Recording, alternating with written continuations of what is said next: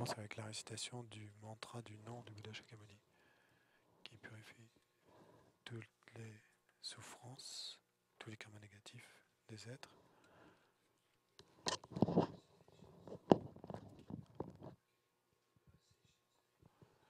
Ensuite, on fera quelques récitations pour obtenir toutes les bénédictions et les qualités.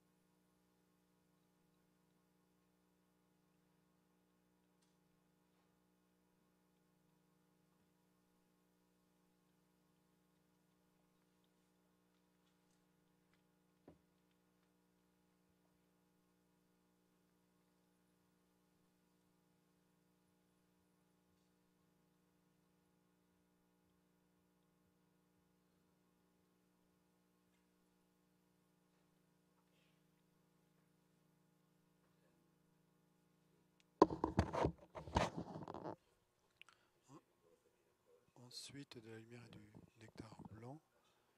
Et s'écoule en nous et nous recevons euh, toutes euh, les bénédictions des réalisations,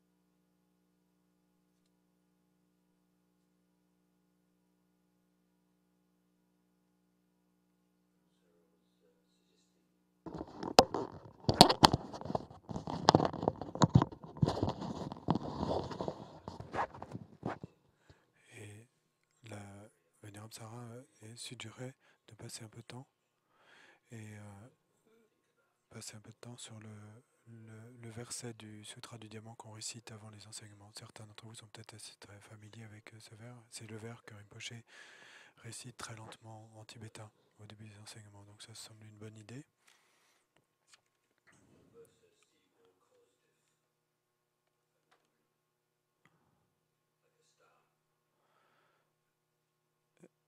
Ce verset dit, euh, voyez tous les phénomènes composés comme une étoile. Donc euh, les étoiles sont là tout le temps, mais vous ne pouvez pas les voir pendant la journée, vous les voyez que la nuit. Et d'une certaine façon, dans un autre contexte, l'obscurité, c'est l'ignorance. C'est comme l'ignorance. Dans les trois principaux aspects de la voix, on parle de l'obscurité de l'ignorance. Mais ici, il s'agit des étoiles. Donc les étoiles, c'est comme la nature ultime des phénomènes composés. Donc, euh, phénomènes composés, c'est phénomènes impermanents, d'accord? Ce sont tous les phénomènes. Et quand j'ai entendu Rinpoche parler de ça un jour, et donc il y a beaucoup de distinctions entre la façon dont les choses nous apparaissent à nous, gens ordinaires, et particulièrement les Bouddhas, les, les Aryas.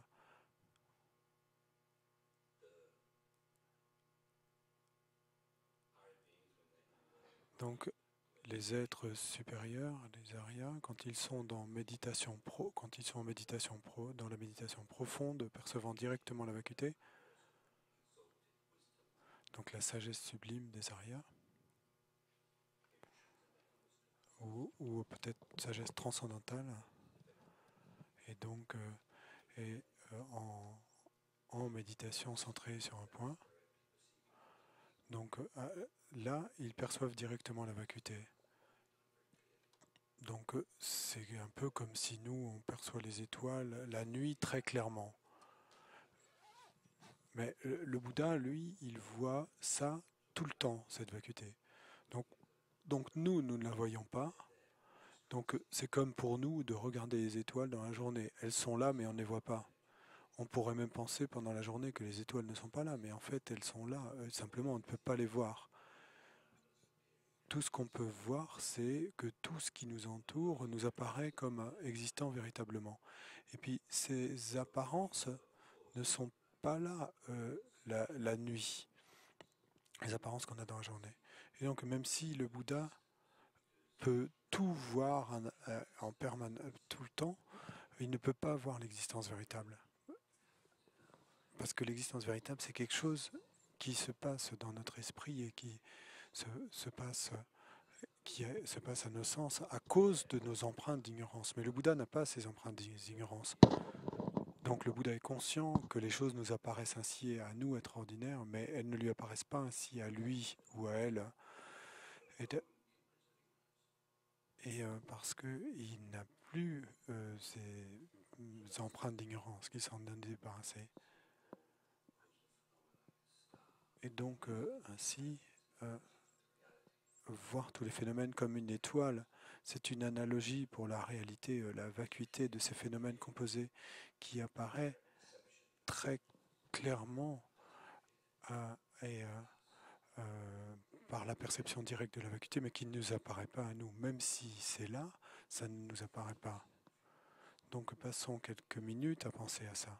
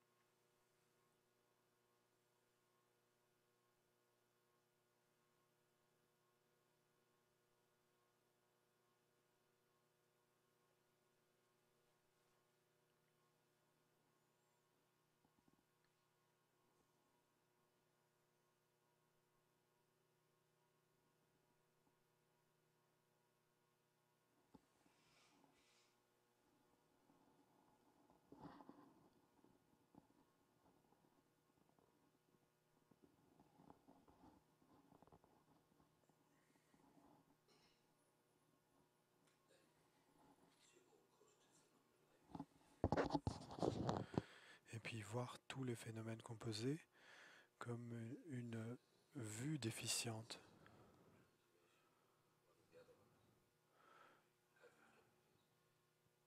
Dans une des traductions qu'on a utilisées pendant, a pendant longtemps, et on, parlait d'aberration visuelle. Donc, Rinpoche clairement n'était pas impressionné par euh, cette traduction. Il préfère l'expression vue déficiente. Et quoi qu'il en soit, c'est comme s'il y avait quelque chose qui n'allait pas avec vos yeux. C'est drôle parce que ce, qu'ils appellent cette sorte d'apparence, quand vous avez euh, une maladie,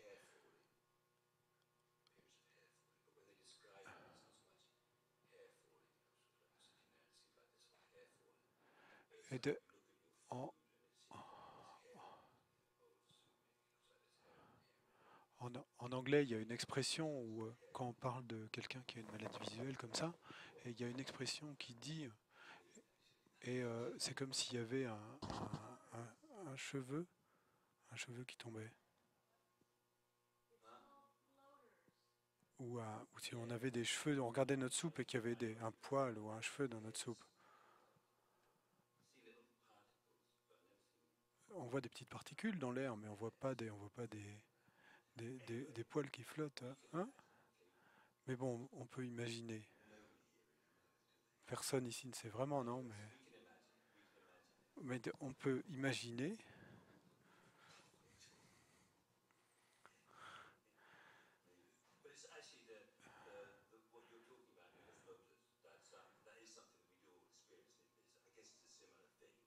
Les,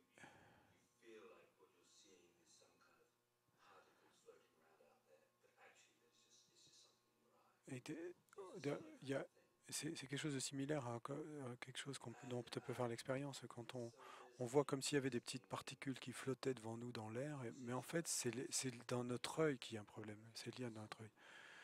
Il y a une conversation intéressante là-dessus dans l'âmerie, mais j'imagine que ça serait euh, dans un des lameries, mais j'imagine qu'elle est aussi dans l'âmerie Genmo.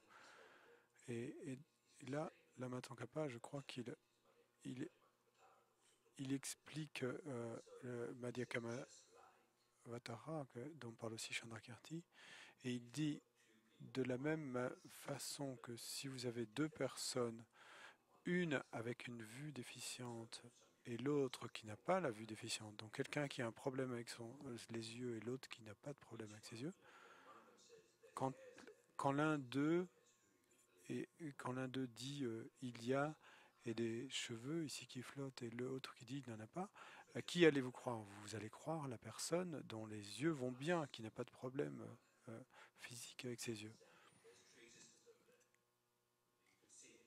Et donc, qui allez-vous croire? Euh, Il y a nous d'un côté et qui allons dire et euh, il y a existence inhérente là. Et, et, pour nous tous il y a cette apparence d'existence inhérente. Donc nous tous on va dire ben oui il y a existence inhérente là. Ça c'est nous donc, et donc nous savons bien à quel point on peut nous faire confiance à nous. D'un autre côté, vous avez le Bouddha, qui a pratiqué pendant trois grands éons la compassion et la sagesse, et qui vous dit ce que, ce que vous voyez vous, moi je ne le vois même pas, parce que mon esprit est sain. Donc le Bouddha vous dit ça qui allez-vous croire alors? Donc c'est comme ça euh, qu'on traite la chose. Donc la vue déficiente, vue déficiente, c'est une analogie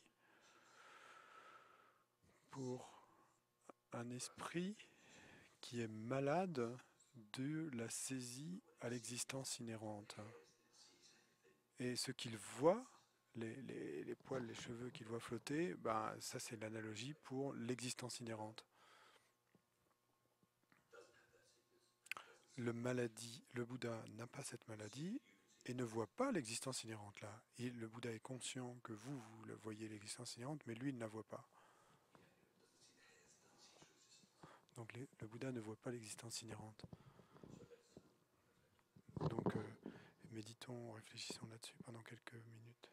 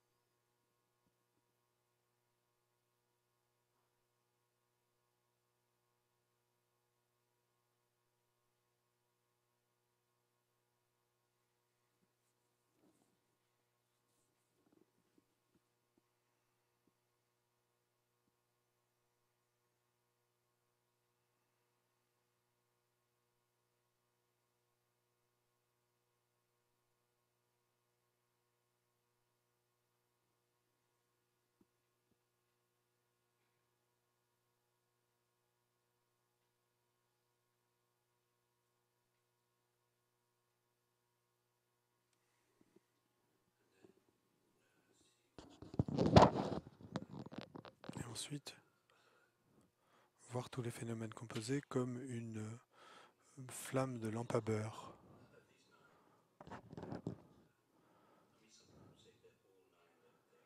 De ces neuf exemples, certaines personnes disent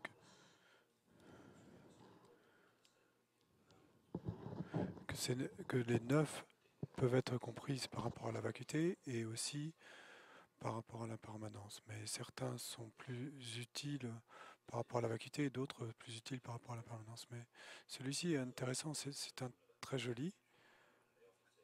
Et quand on dit que tous les phénomènes sont impermanents, on dit souvent que tout ce qui est un produit de cause et de condition est impermanent. Si quelque chose change instant après instant, parce qu'ils dépendent de causes et de conditions qui elles-mêmes sont impermanentes, eh bien alors cette chose va changer instant après instant. Donc ici, dans le cas d'une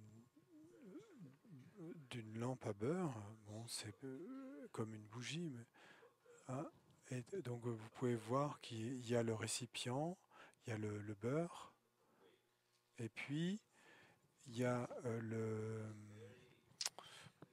j'ai oublié le nom, mais le, ce, qu'on va allumer, le, petit bout qui sort de la cire. Et ensuite, il y a la flamme. Et donc, il est très clair. Et euh, avec vos yeux, vous pouvez voir que la flamme va durer aussi longtemps qu'il y aura du beurre. Même si, pour parler euh, strictement, la cause et l'effet sont simultanés, ici, vous pouvez voir à, un certain niveau que, que la flamme a deux causes, c'est qu'il y a le beurre et puis qu'il y a le, fil, je ne sais pas comment on l'appelle, qui sort du beurre. Donc si vous enlevez l'un des deux, il n'y a plus de flamme. Donc c'est une bonne analogie des choses autour de nous et euh, qui euh, ne vont durer qu'aussi longtemps que les causes et conditions dureront. Et donc euh, les choses autour de nous eh ben, changent et en fonction, en dépendance des causes et des conditions. Et Rinpoche, quand il expliquait cela, donc très brièvement, à un, de ces jours,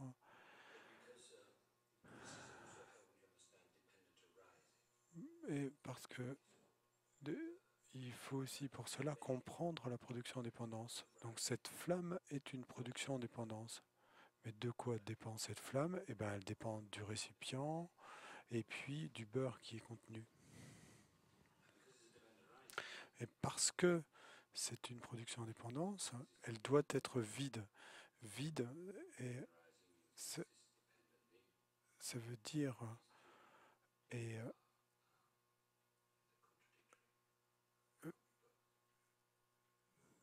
Parce que euh, existant véritablement, ça voudrait dire que ça vit indépendamment. Et production indépendance, ça veut dire euh, que euh, ça existe en dépendance. Hein. et donc ça, c'est contradictoire. Hein. Et si quelque chose est dépendant, il ne peut pas être indépendant. Si quelque chose est indépendant, mais s'il y avait quelque chose qui existe qui soit indépendant, il ne pourrait pas être également en même temps dépendant. Donc quelque chose existant véritablement, ça implique que ce soit indépendant. Et donc, s'il était vrai que cette chose est indépendante, elle ne pourrait pas être dépendante. Donc, si vous découvrez qu'une chose est dépendante, ben, vous découvrez aussi qu'elle n'est pas indépendante. Et donc, qu'elle est vide et d'existence, et, véritable d'existence et intrinsèque. donc, quand on dit que quelque chose est vide, c'est ça qu'on veut dire, vide d'existence intrinsèque. Et c'est pas comme euh, le fait de dire qu'un récipient est vide ou hein, hmm, qu'une tasse est vide. Et donc on peut méditer directement euh, dessus de cette façon. Donc en d'autres termes, vous pensez que cette chose apparaît exister de manière intrinsèque, indépendante, hein, mais en fait, puisque c'est une production en dépendance, et ça ne peut pas exister de manière indépendante, mais la question doit aussi être posée. Parce que ça sonne très raisonnable et c'est comme si on entendait tout le temps qu'on peut, que la meilleure façon, la, façon la plus facile de comprendre que tout est facile, c'est de comprendre la production en dépendance. Et en fait, même Rinpoche a mentionné un soir quelque chose qui est très utile pour notre méditation. Vous vous souvenez qu'il a dit le je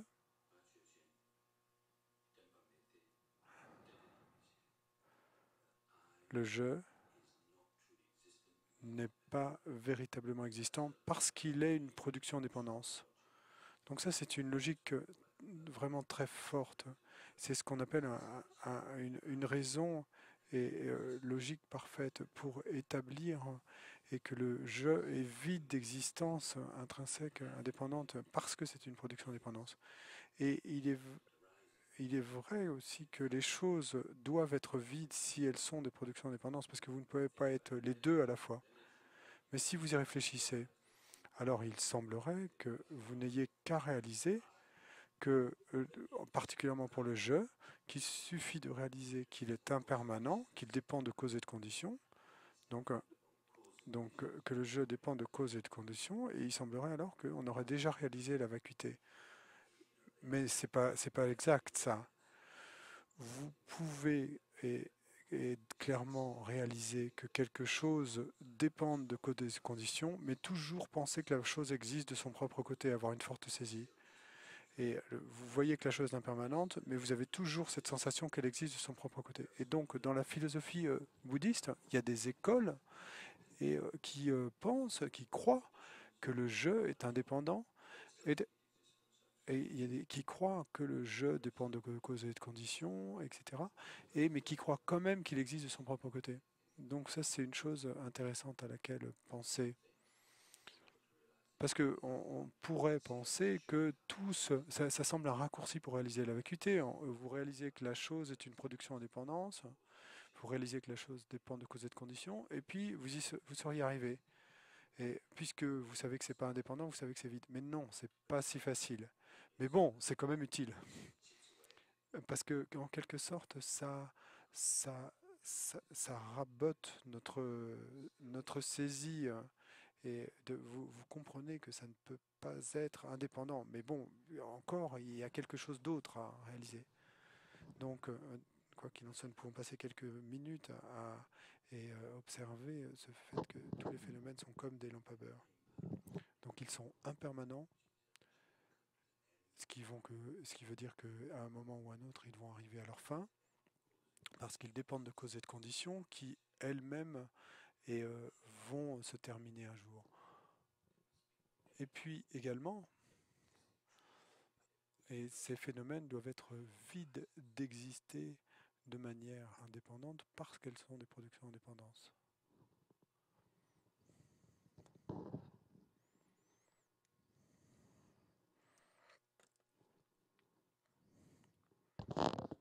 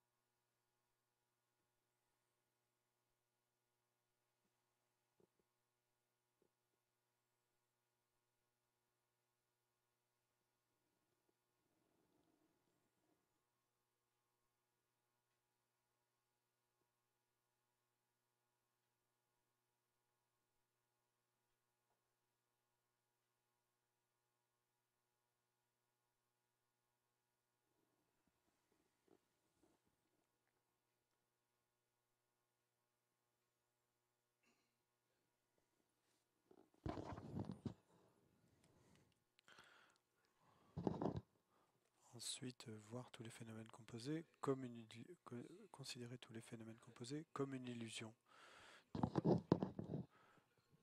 Donc, d'une certaine manière, une analogie devrait être quelque chose dans une analogie qui, dans votre propre expérience, vous aide à, comprendre le point qui est illustré.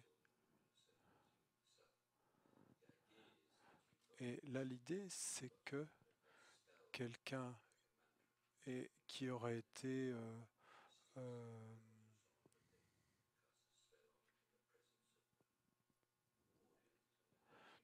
un, magicien qui, euh, qui aurait un mantra ou quoi que ce soit pour faire apparaître une illusion, donc tout le public va voir quelque chose qui en fait n'est pas là. Vous le voyez, c'est un peu comme une hallucination. Rinpoche n'a-t-il pas mentionné une, une, fois l'illusion?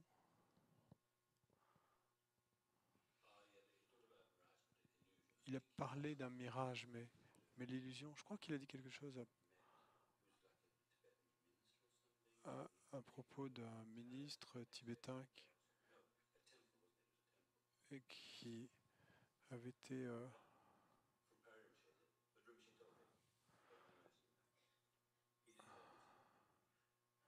Bon, l'a pas raconté cette fois-ci, cette, euh, cette, cette fois-ci, mais Paris Rinpoche l'a raconté une fois. Paris Rinpoche raconte euh, d'Agré euh, et parle d'un temple qui était une illusion et ensuite il a été consacré. Et puis il y a une autre histoire que j'ai entendue. Bon, c'est juste des histoires. Hein. Mais, bon, quoi que ce soit, ça, ça aide pas si on n'en a pas vu soi-même.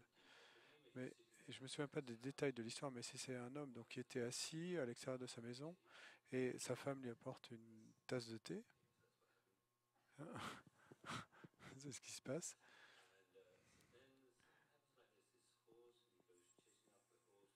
Et puis il y a son cheval qui passe, il part à la poursuite de son cheval, il rencontre quelqu'un.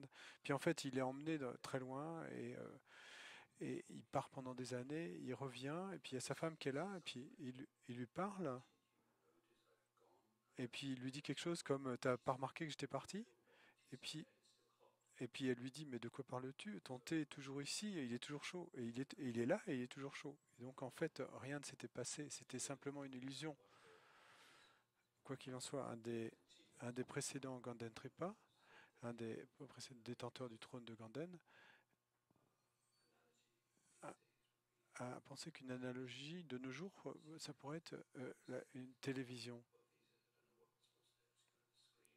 Donc, euh, un écran et puis des choses qui s'y passent, et des, vagues, quoi que ce soit. Donc, vous voyez des choses qui se passent sur l'écran, mais qui ne sont pas vraiment là.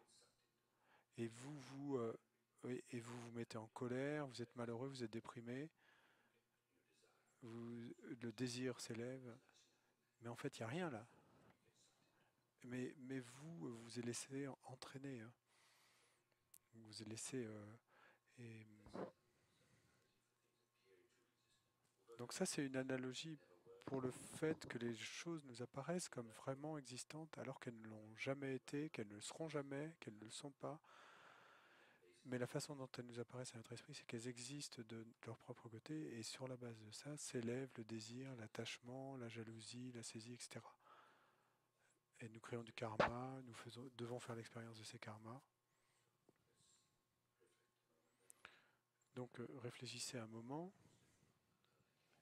sur euh, le, le fait que les phénomènes composés sont comme une illusion.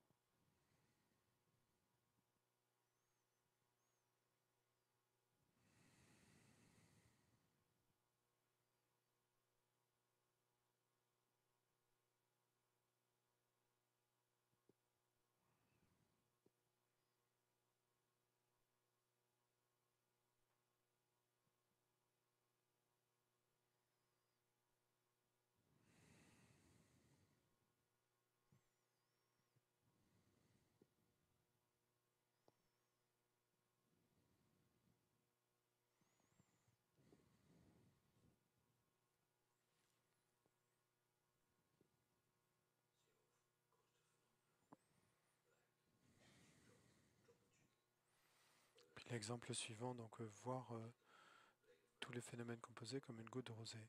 Donc sur un brin d'herbe ou que ce soit, donc une goutte de rosée, elle est là, et puis elle est partie très vite. Il suffit qu'il y ait un tout petit peu de soleil et elle, euh, ça sèche et, et elle n'est plus là, elle a disparu. Et donc, de la même manière, tous les phénomènes composés, hein, ils sont là, et puis ensuite, et puis après, ils sont partis. Et, peu importe, euh, euh, qu'ils nous apparaissent comme si solides et si substantiels, mais un instant ils sont là, et l'instant suivant ils ne sont plus là.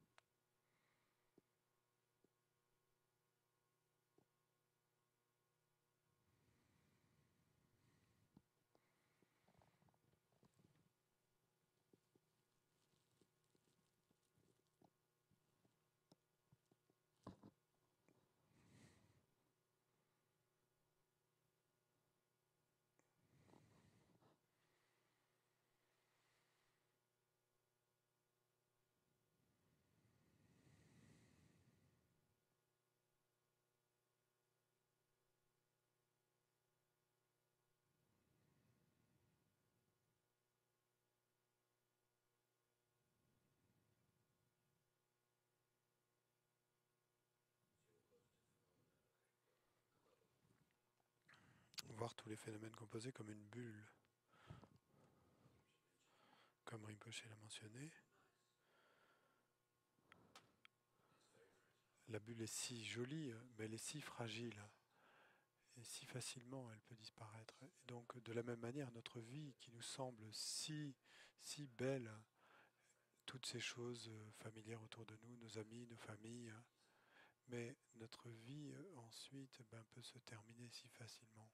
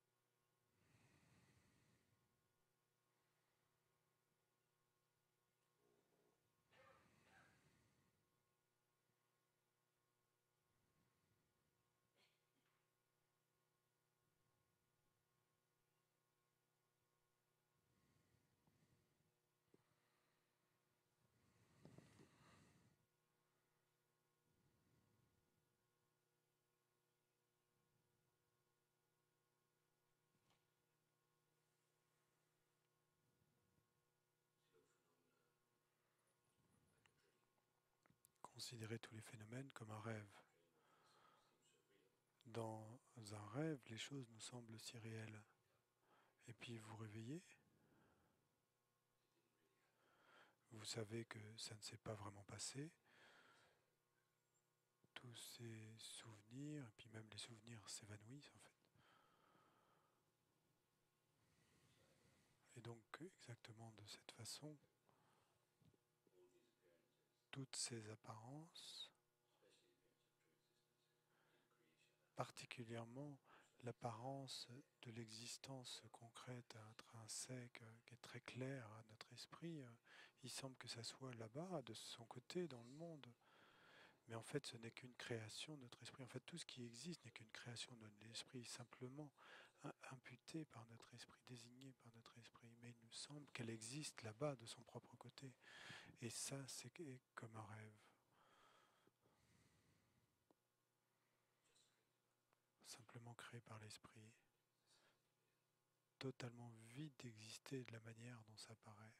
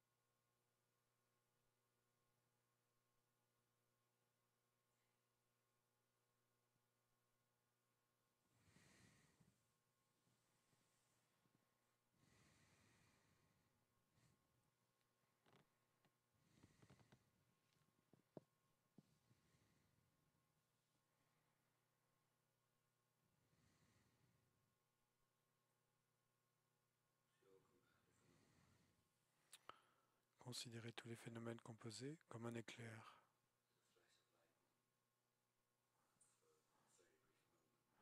Donc il y a un éclair et pendant un instant très bref, vous allez tout voir très clairement. Et puis l'éclair s'arrête et de nouveau il fait noir. Donc de la même manière, tout dans notre vie, brièvement, est là, et puis ensuite eh ben, est parti, disparu.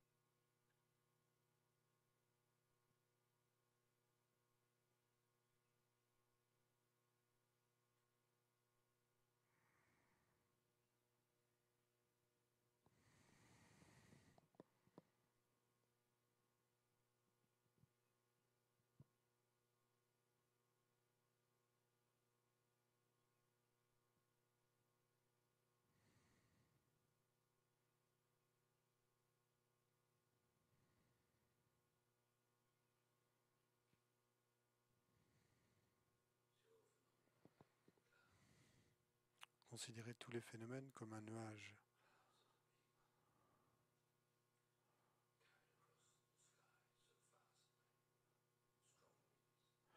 Un nuage qui peut être emporté à travers le ciel si vite par un fort vent. De la même manière, nous, nous-mêmes, nos corps, nos esprits, tout autour de nous change si vite, change à chaque instant et ne reste jamais la même, même pendant un instant.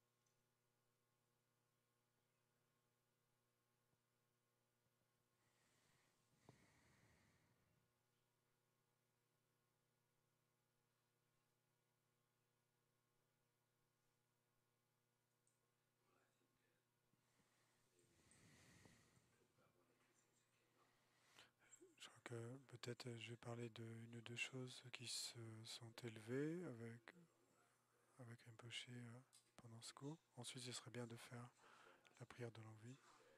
On sait très bien de la faire quand Rinpoche est là, mais, mais il semble que la plupart du temps, il n'y a pas le temps, surtout le soir. Mais quoi qu'il en soit, c'est bien de la faire aussi comme ça. Et puis ensuite de bénir la nourriture. Et ensuite, on pourra y aller. Donc, euh, il y a un point, il semble que Rinpoche ne soit pas vraiment rentré dedans, mais il a mentionné, il a mentionné comment cet esprit, qui est la source du samsara et du nirvana, le, créateur du samsara et du nirvana. Donc, euh, Rinpoche parlait du choix que nous avons. Et de, dans l'instant, et de, et de aujourd'hui, l'histoire de notre esprit, c'est vraiment que notre esprit est, est, est c'est les, les cléchats qui le régissent, qui le font fonctionner. Et Rinpoche a mentionné comme c'est effrayant, comme c'est vraiment effrayant d'avoir ces cléchats.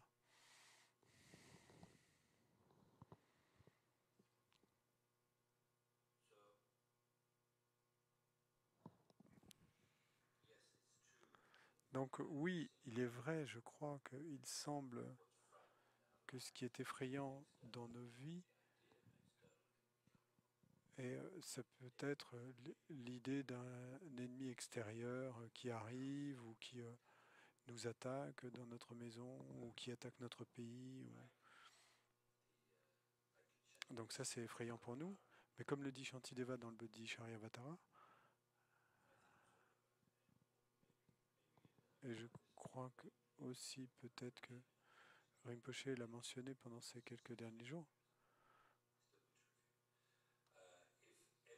Si, si tout le monde, dans le monde entier, si dans tout le monde, dans l'univers, si, si tous les êtres de, de l'univers pourraient se liguer contre vous, mais ils ne pourraient pas, et ils, ils pourraient tous se mettre contre vous, chacun d'entre eux, mais il ne pourrait pas vous faire aller dans les royaumes inférieurs. Il pourrait vous tuer. C'est le pire qu'il pourrait faire. Et vous,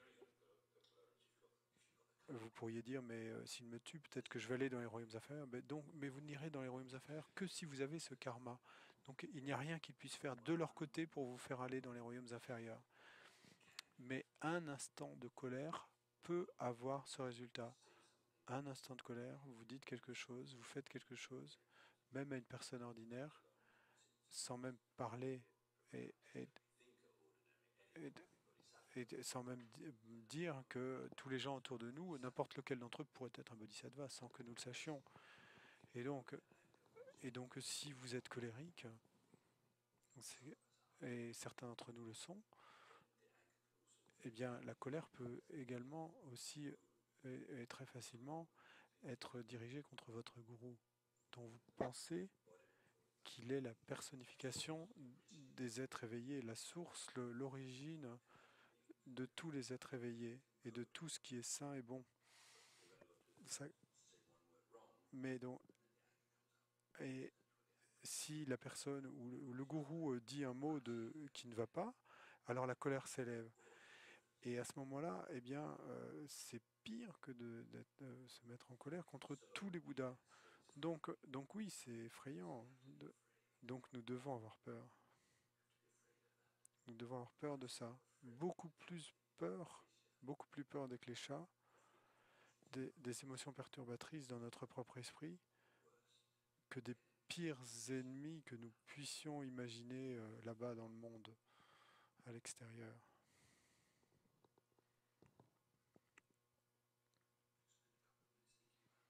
On va passer quelques minutes à penser à ça.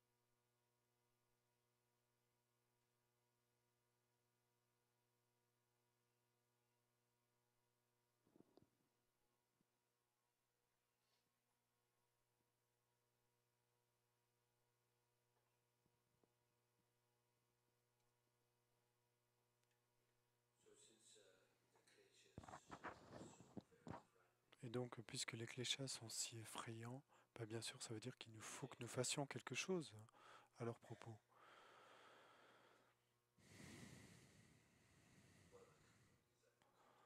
Je me souviens pas exactement du contexte, mais Rinpoche a mentionné la personne qui, je crois que c'était une histoire de Dramtompa, et qui voit cette personne. Et j'imagine qu'il peut voir ce qui se passe avec cette personne, il voit son esprit, et donc la personne lui dit, je pratique la patience. Et donc Dramtompa lui répond, bah, si tu pratiques la patience, mange de la merde alors. Et immédiatement, le type explose. Et donc, j'arrive à me relier avec ça. Hein? Mais c'est. Euh, je ne sais pas si j'ai entendu plus. Et, bon, la façon dont elle est racontée, il semble que le type était peut-être un peu arrogant, mais. mais si vous pensez à votre propre vie, et si vous pensez à ce qui pourrait se passer après, si vous étiez dans cette position, c'est quelque chose qu'on essaie de faire. On essaie de pratiquer la patience. Hein. Et d'une certaine façon, c'est assez frustrant. Et vous pensez que vous y arrivez un peu parce que vous êtes assis quelque part et puis que vous êtes tout calme et votre esprit est tranquille? Et puis il y a quelqu'un qui arrive et euh, qui vous demande qu'est-ce que vous faites? et vous dites je pratique la patience. Ça peut se passer.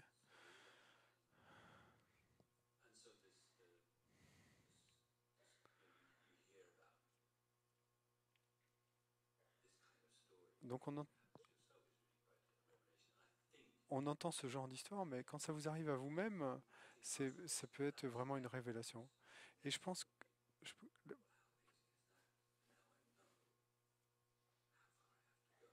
je, pense que la plupart d'entre nous, euh, on réagirait de la même façon et on penserait, comme c'est incroyable, bah, maintenant euh, je sais euh, le chemin que j'ai à parcourir. Comme si, quelqu'un vient vous voir et que vous écoutez des enseignements sur Bodhicitta, il vous demande, particulièrement, vous avez écouté les enseignements sur Bodhicitta du, du Saint Gourou, quelqu'un vient vous voir, vous dérange, et vous lui dites J'essaie d'écouter, tais-toi. Et ils ont besoin de votre aide, peut-être, mais vous ne voulez pas les aider, vous voulez écouter les enseignements sur Bodhicitta.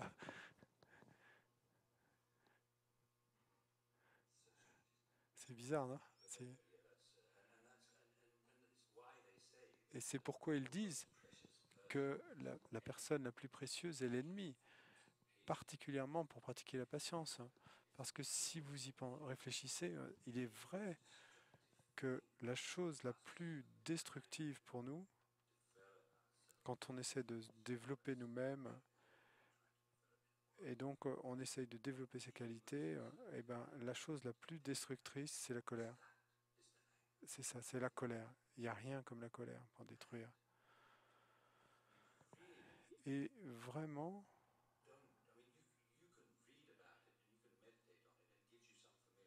et donc vous pouvez euh, débattre là-dessus, méditer là-dessus, ça vous donne une certaine familiarité avec l'idée, mais c'est seulement quand quelqu'un dit vraiment quelque chose de, de désagréable, ou fait quelque chose, c'est à ce moment-là que vous avez vraiment l'opportunité, et vous pouvez utiliser l'opportunité ou pas, et la plupart du temps, euh, et on n'utilise pas l'opportunité, et après on s'auto-flagelle euh, parce qu'on n'est pas content de nous, mais, mais c'est... Mais, mais, parce que là, c'est comme si c'était vraiment l'expérience directe. Quand vous essayez d'avoir l'expérience directe, et eh ben, quand est-ce que vous avez la, la chance, l'opportunité d'avoir l'expérience directe C'est quand la personne vous dit mange de la merde. Et donc cette personne vous dit tant à propos de vous-même. Et,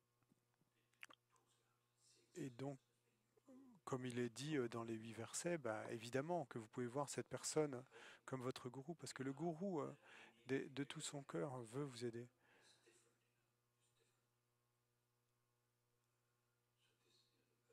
Donc la personne ordinaire qui est très désagréable, vraiment, il vous enseigne quelque chose de très important. Et il vous donne cette opportunité incroyable.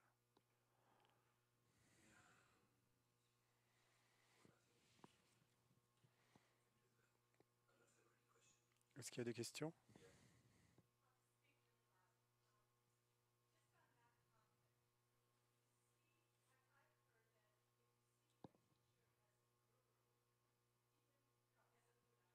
Si vous voyez, votre maître comme un Bouddha, donc même s'il n'est pas Bouddha, vous obtenez les bénédictions d'un Bouddha. Mais si c'est le cas, si vous voyez tous les êtres comme un Bouddha, ou si vous les voyez comme votre gourou, si vous voyez tous les êtres comme votre maître, est-ce que vous obtenez les bénédictions d'un Bouddha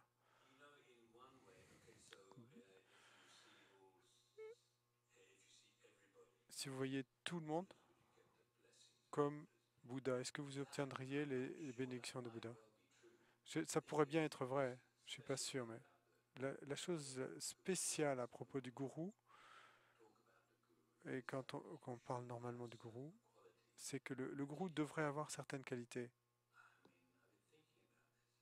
J'y ai pensé, mais également ça a du sens avec ce que Rinpoche a dit. C'est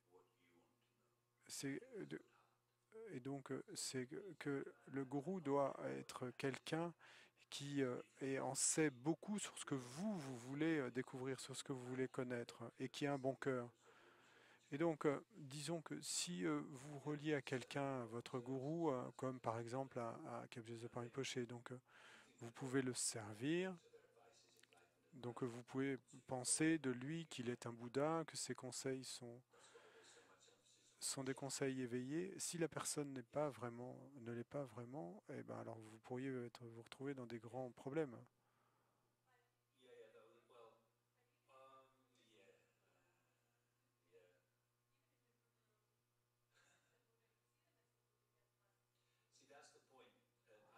Ça, c'est l'idée, j'ai pas entendu là.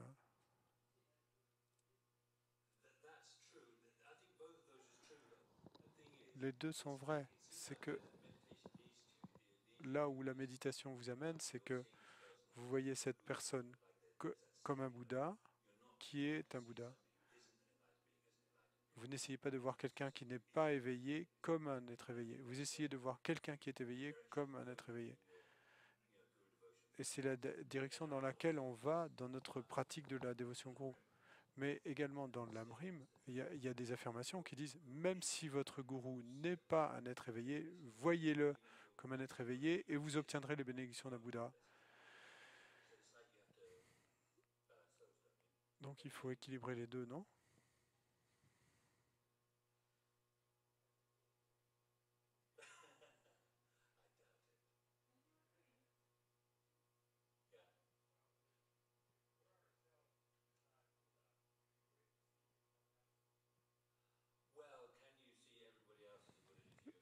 Pouvez-vous voir tout le monde comme un Bouddha si vous-même vous ne l'êtes pas il, est vrai qu'on dit que la, seule personne qui peut vraiment percevoir les Bouddhas est un autre Bouddha. Mais, mais là, on parle de voir quelqu'un comme Bouddha dans le sens de les voir sans aucune faute et avec toutes les qualités. Donc d'entraîner notre esprit de cette façon à voir le gourou, à voir les gens comme ça. Je ne crois pas que quiconque dise qu'on a la qu'on ait la capacité de juger si quelqu'un est éveillé ou pas, parce que si on peut si, si, on n'est pas capable de juger qui est un bodhisattva ou pas, comment pourrions-nous juger qui est éveillé ou pas? En même temps, et nous savons qu'il y a ces bienfaits incroyables à penser que le gourou est un être éveillé. Donc je pense qu'au début, c'est un peu comme je ne suis pas sûr si cette personne l'est ou pas, mais il est mieux pour moi de la voir comme ça. Et puis, quand vous continuez à méditer, et, particulièrement cette structure incroyable que vous trouvez dans la libération, dans la paume de la main, je pense que finalement, vous allez en arriver au point où vous êtes complètement convaincu. Il n'y a plus de doute. Il n'y a plus de doute. Donc vous, vous n'êtes pas en train d'essayer de voir quelqu'un qui n'est pas éveillé comme un être éveillé. Vous, vous, essayez vous en arrivez à ce point où vous essayez, vous voyez un être éveillé comme quelqu'un d'éveillé. Mais ils disent que ce type de méditation est quelque chose qu'il faut alimenter tout le temps, quotidiennement. Même si vous parcourez les méditations du Lamrim, une par une, et puis revenir au début, etc. Mais toujours euh, d'inclure et euh, un peu de méditation sur la dévotion gourou, sur le comment suivre le gourou. Parce que effectivement, c'est très difficile. Voir, voir, voir tous les êtres comme votre mère est très difficile, et voir votre gourou comme un être éveillé était difficile. Donc c'est quelque chose qui, sur lequel il faut continuer à travailler. Mais je crois que c'est là que finalement, là qu'on arrivera. Et je me souviens un jour, sa sainteté a mentionné, vous avez peut-être entendu, il le mentionne euh, de temps en temps, qu'il a cette sensation d'avoir été présent, d'avoir été présent lors d'un enseignement du Bouddha. C'est comme s'il y avait une, mémoire, enfin, une, qu'il ait l'impression. Et il a également dit une fois qu'il pensait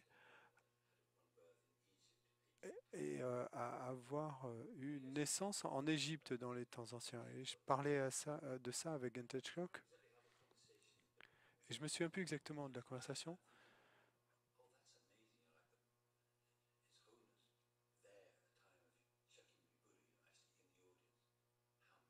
Et donc, je me suis pensé, mais comme c'est incroyable que sa sainteté, et avoir dit sa, sa sainteté qui, sa sainteté, qu'il était là du temps du Bouddha. Et, et Gentek m'a répondu, euh, mais euh, tu, t'as as, oublié que sa sainteté est le Bouddha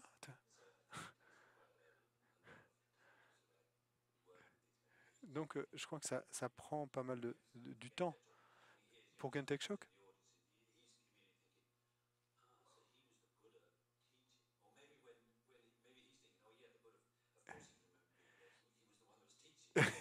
et probablement Gentek Shock, euh, lui, quand il entend sa sainteté raconter cette histoire, euh, lui, il se dit, bah, bien sûr, qu'il se souvient d'avoir été là-bas. C'était lui-même le Bouddha qui était en train d'enseigner. Donc c'est, comme quand vous pratiquez la patience et qu'il y a quelqu'un qui vous déstabilise, ou comme Drom qui vous dit euh, mange de la merde. Donc, et parfois, il y a il y, a un livre sur les, gourous de la lignée du Lamrim. Et donc, euh, je, euh, lisais certaines de leurs histoires récemment. Et je me disais, waouh, ça doit être incroyable d'avoir un gourou comme ça. Et puis, ah, bah, la, chose d'après qui me venait, c'était, mais j'ai un gourou comme ça. on se rattrape soi-même. Peut-être on fait la prière de longue vie.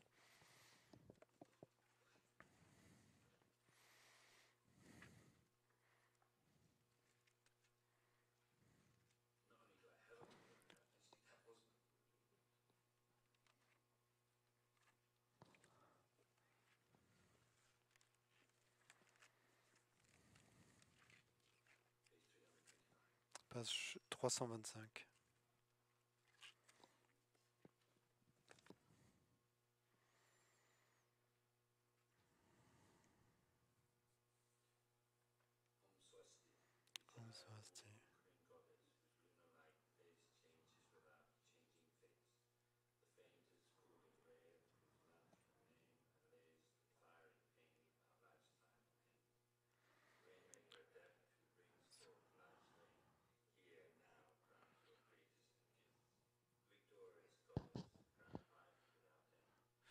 Vous implorons, vénérable Maître, dont le nom qualifie celui qui, sans égal, détient l'essence vitale de la doctrine des vainqueurs, pure et vérifiable, l'unique ornement de la terre, le guide qui conduit à la libération suprême, la sphère de la paix, grand trésor de raisonnement subtil et précis, la lumière dorée de votre pur discernement, net et tranchant, éclaire distinctement les deux vérités, parmi une multiplicité d'objets de connaissance. Lama, radieux soleil de Dharma, nous vous prions de demeurer indéfiniment. Profond océan lacté de la lune de pure moralité, sourire rieur qui laisse miroiter les perles de l'expertise, de la constance et de l'humilité, habile à offrir l'eau sacrée, l'aide universelle qui guérit et comble tous les souhaits, Lama suprêmement digne de vénération, demeurez à jamais parmi nous la pure intention supérieure, magnifique baume adoucissant, entoure la lune de votre esprit mayaniste. qui dans sa course continuelle jusqu'aux confins de l'espace soulève des océans de bonheur immédiat et de félicité illimitée. Lama, lune qui nous montre la voie, demeurez à jamais parmi nous. Vos enseignements sont de vastes rivières qui répandent un nectar divin. Vos arguments des lames acérées, indestructibles et imparables. Vos écrits des lotus à mille pétales qui déploient toute leur majesté.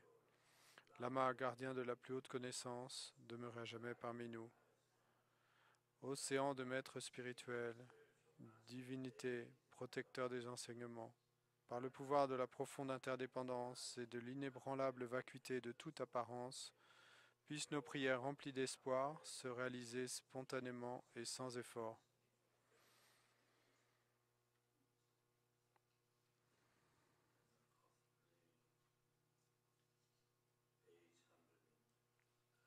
L'offrande de nourriture, page 181.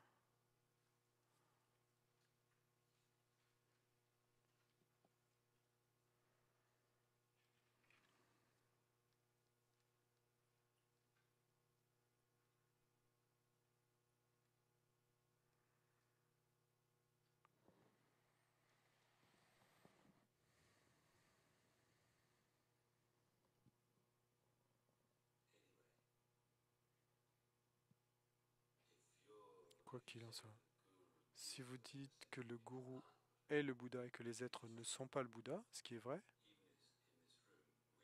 même si dans cette pièce, qui est simplement un être et qui est un Bouddha? Je ne connais pas la réponse. Je connais au moins une personne dans cette pièce qui n'est pas éveillée, mais je me souviens que Sarah, un jour, et peut-être euh, la première ou la deuxième année, quand. À quand, la première ou la deuxième année que j'enseignais. Donc ce moine qui est euh, médecin tibétain, mais je ne le savais pas à l'époque, hein. il a commencé à essayer de débattre avec moi afin de, que je puisse lui prouver que je n'étais pas éveillé. Et, et j'ai pas réussi en fait. Hein. C'est intéressant que vous, n'arriviez pas à prouver à quelqu'un que vous-même vous, n'êtes pas éveillé. Bon, ça pourrait tout être simplement des moyens Bill, non?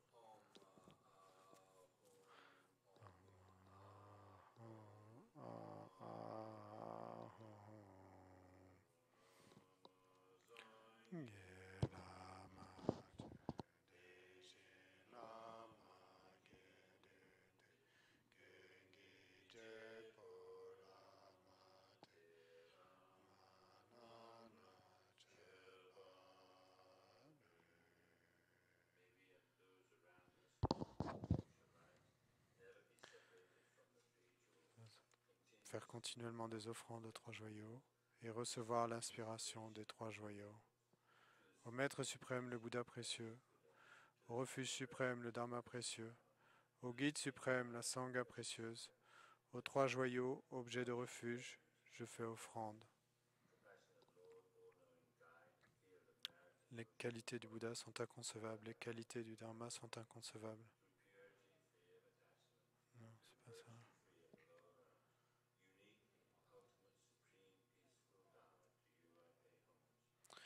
Vous êtes libéré, montrez la voie qui mène à la libération.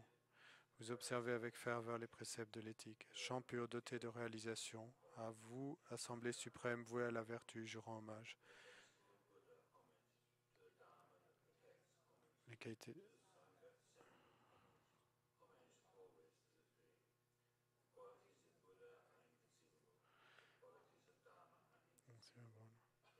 Le sangha est inconcevable.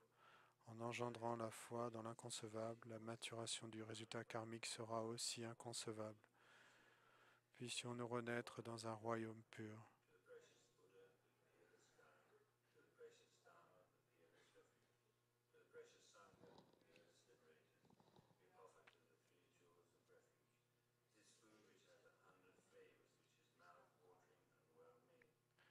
L'offrons avec foi au roi et à ses fils.